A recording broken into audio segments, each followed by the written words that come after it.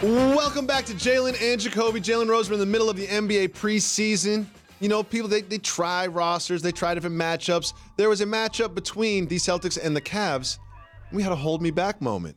J.R. Smith gets tangled up, Aron Baynes, and then we get Marcus Smart gets himself involved, a little push to the back, Hold me back. and everyone gets held back. After the skirmish, that was a funny part. they tackled, they tackled him. They lucky he gets sent back into the fans. to the locker room. A little wave from Jr. It was cute. You know, I liked it. And then after the game, they asked Marcus Smart about it, and here is what Marcus had to say. told him to come back to the back. You know what I'm saying? All that on the court. We can, we can handle that off the court. I ain't with that. And that's on my mama. May she rest in peace. Ain't no punk right here. Man, on oh, my mama, may she rest in peace. Dead. So, whatever happened, happened. JR know where I'm at. Everybody know where I'm at. It is what it is. Okay, Marcus Smart, definitely not a punk. However, he did say, I told him, come to the back and we can handle it off the court. Jalen Rose, it's time for you to take us behind the curtain.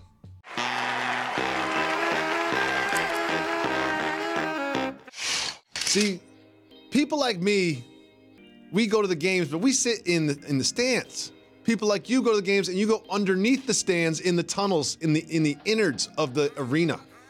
If you wanted to fight somebody after the game that was on the opposing team, could you do so? Take me through the logistics and the scheduling and the motions of how it all works. On my KRS One, we're not promoting violence.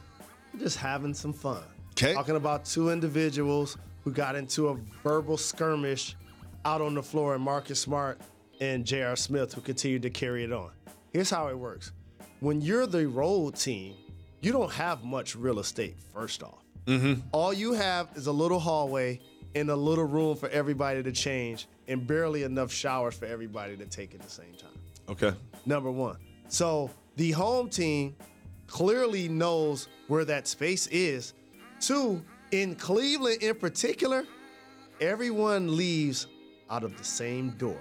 Oh. And the bus where the opposing team is parked, guess what guess what it's by? All of the players' cars. So they all are in the same parking lot, the same area. So when you're leaving, you see a lot of opposing players when you leave or whatever. When you leave, you see everybody from the opposing team directly or indirectly if you want to. You see the fans, you see the players, you see the families, you see the staff of the team. You can physically see one another and have an altercation if you chose to, something I don't encourage. And hopefully, when they have an altercation on the floor, team security understands that took place. It's heightened, so they intervene and make sure that things little extra escalate. security by the bus, whatever. See, I am kind of a punk, unlike Marcus Smart. If I'm J.R. Smith, I'm taking an extra long shower. I'm taking a 30 minute well, shower. here's what ends just, up just to make sure the bus is gone by the time I go out to my car. Here's what you know? ends up happening. I don't want it. Cooler heads prevail. Mm-hmm. Like when you finish the game, you go into the locker room, you decompress, you with your teammates, you with your coaches. I don't wanna get the a fist fight right now. Yeah, you're yeah. talking about what happened. You get in the shower. Sure. laughing and joking, especially if y'all won. And so at that point, the moment is gone.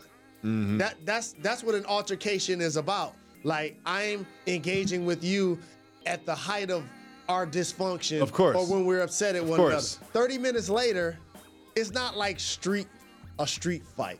It, it's just totally not the same because these guys are peers, and though they won't admit it publicly, they have a lot of respect for one another. Well, thank you for taking us behind the curtain, Mr. Rose. And JR has a history, recent in particular, with the Boston Celtics. So that dislike and that disdain is legitimate. oh, he's got a long history with the Boston Celtics. Look at those playoff matchups.